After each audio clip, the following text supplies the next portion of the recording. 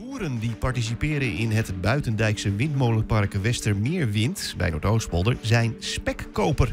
Miljoenen euro's aan windsubsidies stromen hun portemonnee in. Dat is allemaal te danken aan een extra, door een, aan een extra subsidie van ruim 90 miljoen euro.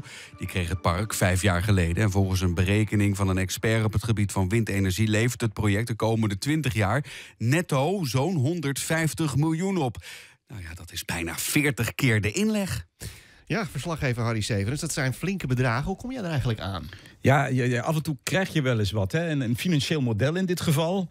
Uh, maar ja, als ik dat zie, dat kan ik niet beoordelen. Dus we hebben de hulp uh, ingeroepen, samengewerkt met het Financiële Dagblad.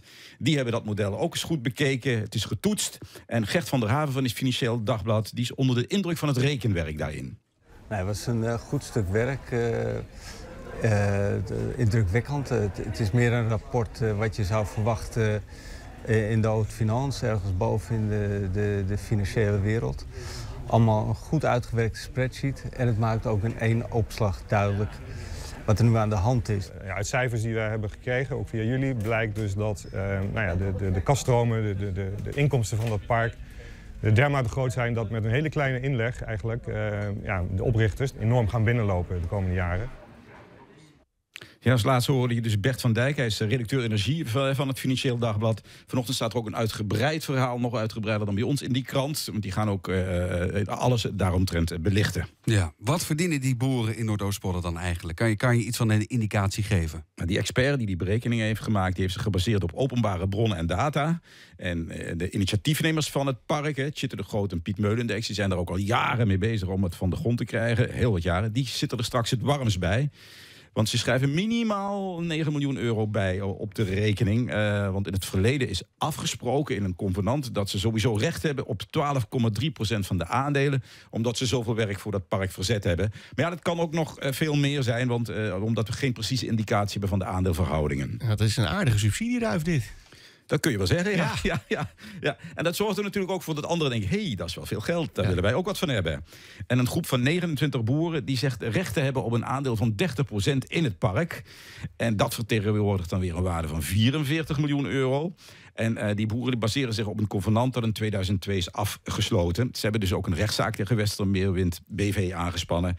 En morgen doet de, rechtspraak, uh, doet de rechtbank uitspraak of, of, of die, uh, die, die boeren ook aanspraak kunnen maken op een deel van dat subsidiegeld. Ja, maar hoe kan dat park zoveel subsidie krijgen?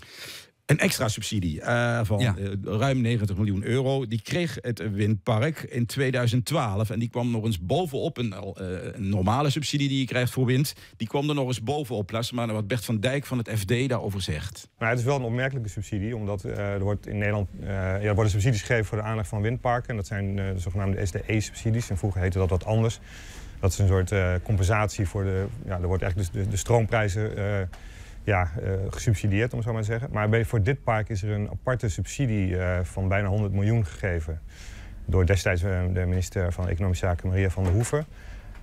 en zij zeggen dat was nodig toen omdat dit een heel uniek project is. Omdat het ja, deels in ondiep water staat. en dat was toen nog nooit gemaakt. Dus zij vonden dat vanwege het innovatieve karakter van dit park ja, wel gerechtvaardigd om daar die subsidie voor te geven. Dus alleen op basis daarvan kwam die extra subsidie? Nee, ook nog iets extra hoor. Want het, het, volgens het ministerie is het moeilijk om uh, uh, uh, funderingen te heien in zo'n ondiep water.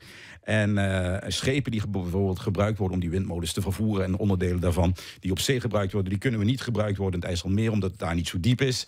En ja, het IJsselmeer heeft ook een lastige infrastructuur. Je moet allemaal door sluizen heen om er te komen bij het park. En letterlijk schreef de, de woordvoerder de complexiteit van dit project rechtvaardig dat hier een innovatieve subsidie voor is gehonoreerd.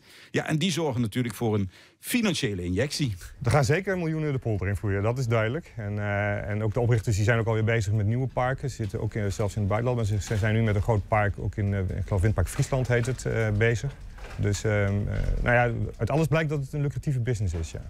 Ja, dat was nog een keer Bert van Dijk van het Financieel Dagblad. Goed nieuws is overigens dat ooit in 2002 ook is afgesproken... dat de burgers, de inwoners van Noord-Oostpolder... mogen participeren in dat buitendijkse park. Maar ja, een regeling en de voorwaarden waarop, uh, die is nog steeds niet bekend. En dat begrijp ik ook wel. En ik denk dat de initiatiefnemers toch eerst de, de uitspraak van de rechtbank willen afwachten... voordat ze daarmee verder gaan. Maar ja, de, de burgers moeten dit goed in de gaten houden, de inwoners. Van, eh, ja, dan kunnen ze misschien Ja. ook nog een, gaantje mee Kan ik ook meedoen? Of, eh, nee. Inwoners van Noordoostpolder. Oh, ja, ja, alleen Noordoostpolder, ja. Dankjewel, Harry Stevens.